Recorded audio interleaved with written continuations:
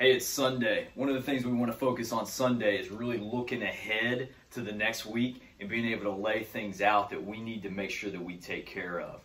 First thing we're going to do is we're going to identify big ticket items that I got to make sure I can handle. So if I have certain academic obligations through the week, put them on the calendar.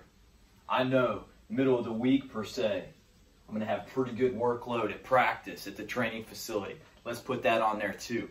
Then if I have specific meetings or events, maybe that I have to go uh, with family um, or to attend, I'm going to put those on my calendar next. Then what I'm going to do is I'm going to actively seek opportunities for me, for my personal well-being.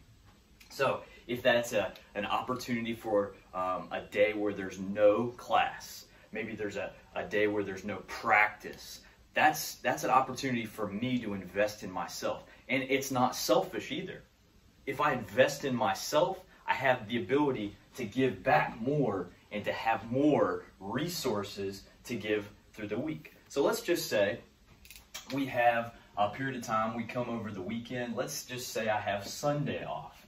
I know that's an opportunity for me to invest in myself you know i can do just personal hygiene things I could do my laundry. I could take care of my room. I can make sure I get my groceries, plan out my meals for the week. I can talk to loved ones. Everything about that day is putting me ahead for the rest of the week.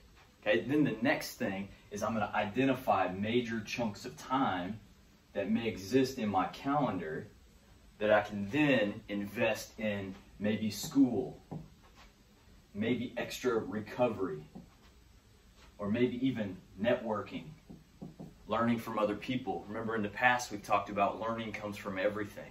But at the end of the day, Sunday is a great opportunity to look across the week. Identify your major areas that you got to focus on. Identify, do you have a big time competition at the end of the week? And then how do I get there? And maybe more importantly, how do you take care of the big opportunities to invest in yourself? Take advantage of opportunities. Always look for opportunities. We got an opportunity coming tomorrow. Take care.